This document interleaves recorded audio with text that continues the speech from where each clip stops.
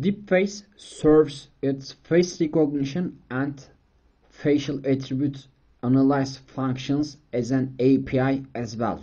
DeepFace is expected to be installed as a prerequisite. You can run pip install DeepFace command to install DeepFace on your environment. Then I'm going to clone the source code of the DeepFace framework. And in the command prompt, I'm going to call git clone and the repo address. When the source code is cloned on my environment, I'm going to change the directory deepface and uh, then I'm going to change directory again to API folder and here I'm going to call this API.py python API.py calling API.py builds both face recognition models and facial attribute analysis models it almost uh, lasts one minute Four face recognition models are built. Now it's time to build the facial attribute analyze models. And uh, there are four different facial attribute analyze models. Now the API service is up. I can check it by entering this URL to my browser and it returns hello world this means that everything is okay. I'm going to use postman to call rest services and the sample request files can be found under the uh, deepface folder. Deepface API and uh, this uh, postman collection. It has four different input requests we can apply face recognition firstly and let's see the input content.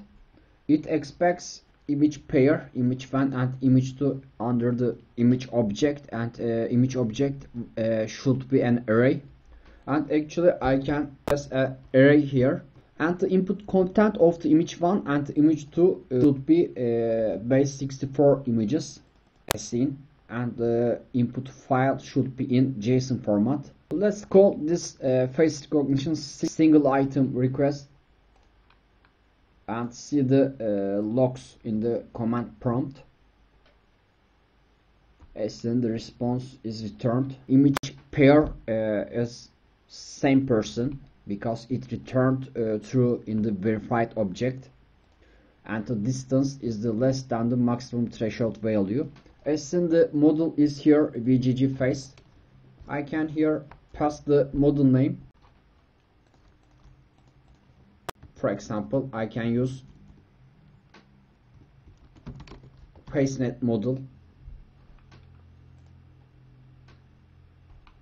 And let's see the uh, logs here again. In this time the uh, image pair is same person too here the model is FaceNet and it returns true as well. We can also apply facial attribute analyze. For example I'm going to call this facial attribute analyze single item request. Uh, let's see the log here